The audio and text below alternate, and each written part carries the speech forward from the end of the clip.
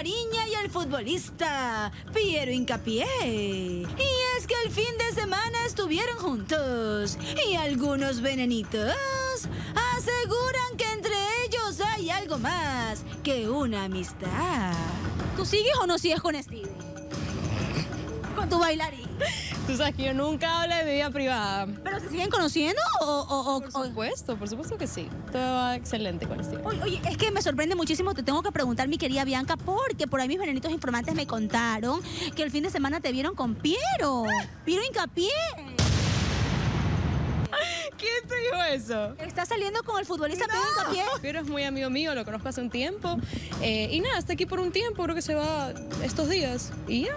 Pero salieron el fin de semana, se Pero fueron. no, no, no, salimos los dos. Él estaba en el lugar donde yo también estaba, que es diferente. Ya. Y ya. O sea, pero que fueron a comer, porque ese restaurante es muy exclusivo y todo. Este bar es muy exclusivo. Ah, la- ya, ya sé qué lugar. No, pero yo estaba con mis amigas. y Él, él estaba ahí también con sus amigos. De hecho, yo soy también amiga de Leo Campana, de Joao, de algunos futbolistas que están en Ah, la o sea, TMC. tú eres futbolera.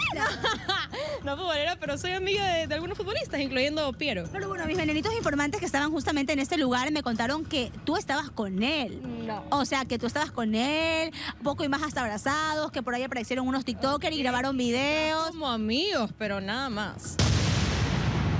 Pero es una persona increíble y, y nada, sé que le está yendo súper, súper, súper bien aquí con el fútbol ecuatoriano y con, en Alemania también. ¿Y qué te dijo Piero ese día, esa noche, esa noche loca? No, no fue ninguna noche loca, para nada. Ah, pero ¿a ti te gustan los futbolistas o no? No, yo no, no tengo una preferencia. No tengo ninguna preferencia. ¿O te gustan los bailarines? Los bailarines también me gustan, sí. Bueno, pero en todo caso, tú desmintiendo hoy que tienes algo con Piero Incapié. No, no tengo nada con Piero Hincapié, por si acaso, antes de que digan cosas, solo somos amigos. Eh, y nada, eso.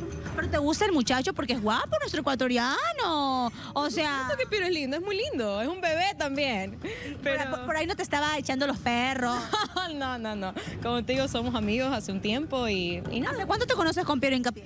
Desde que vive en Argentina, bueno, cuando él vivió en Argentina, en, que estaba en Córdoba, en un equipo allá.